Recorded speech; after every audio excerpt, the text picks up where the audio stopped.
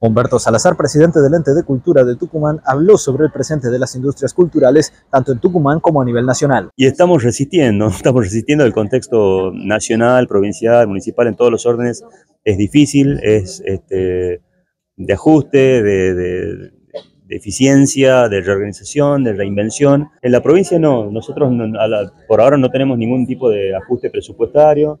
Obviamente eh, todo lo que desfinancie Nación o los distintos organismos nacionales va a repercutir de alguna manera en las distintas provincias y se evaluará en cada caso, en cada provincia, eh, cómo, cómo se afronta esa situación. Las salas Inca por ahora están funcionando, eh, hay un tiempo de plazo, digamos, un tiempo de espera para tratar de, ver cómo sigue.